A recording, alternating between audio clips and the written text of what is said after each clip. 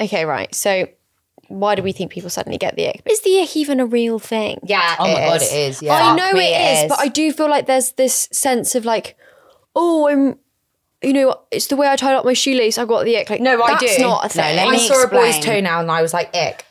I take responsibility for being the person that brought the ick to Instagram. Now I know I didn't invent the ick. I know it came from Love Island.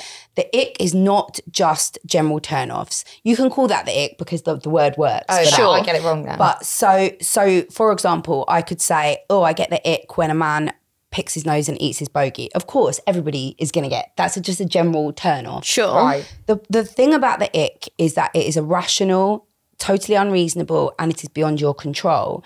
And I don't know if you've ever felt it. I have. But I it have. is like a sudden repulsion, and it's usually with somebody who you really like.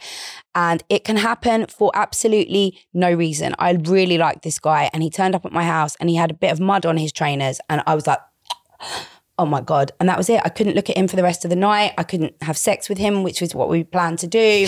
and you can't say to someone, it's because you turned up at my door with mud on your shoes. I know. Because that doesn't make sense. Like, and it wasn't the mud, it wasn't the shoes, it was the ick.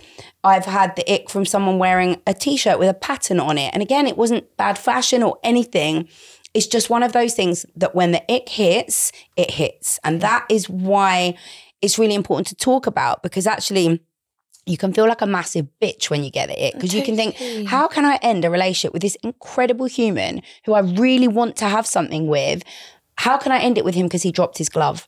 You know, Drop dropped his glove, or, or he did a little trip up a step. You know, how can I put what? A, you know, what a horrible person am I to end it? But but actually, it's really important for us to share these stories because It's normal. because it's a thing and it's actually instead of trying to continue to date somebody who you feel totally repulsed by the sound of them breathing makes you feel sick and you try and force yourself because you think there's no reason for me to feel like this but you've got the ick um, and there's lots of different reasons behind why people think the ick might happen. So there's some explanations that are rooted in like evolutionary psychology.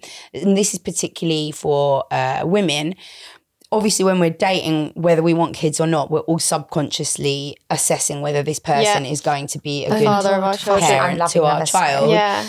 And a lot of the the ick that comes from you know them tripping up a little bit or them i don't know hitting their elbow on a car door Mm. or something again which are not things that you should end a relationship with someone Sure. for but apparently there may be something within our brains that goes eh, that person's a bit clumsy they're going to drop our baby on its head so they're not going to be a safe partner. So cut that one out because they're not going to hold my baby No, this is fascinating. this has blown my mind. there are also explanations that are like rooted in obviously attachment and things like that and and self self defense really like self protection and self sabotage so you're thinking deep down within you you you have such a strong fear that this person is going to reject you that you are searching for whatever it is that you can find to reject them first to protect yourself to sabotage the relationship before they can do it to you And when does that, when you say that's to do with attachment, what would your attachment problem Style be before be- that to start that? Well, it could be any of them really. So people with uh, uh, avoidant uh, attachment styles will also be quite prone to the ick um, because they will get this kind of sense of suffocation and intensity, like if somebody likes them too much. And that's why I think it's really important to, to you know, once you're deep into a relationship, actually having that vulnerability and being able to really a understand yourself. You can't understand your partner as well if you don't understand yourself. But So to to strip that back, like understand their childhood, understand their insecurities, what they went through, you know.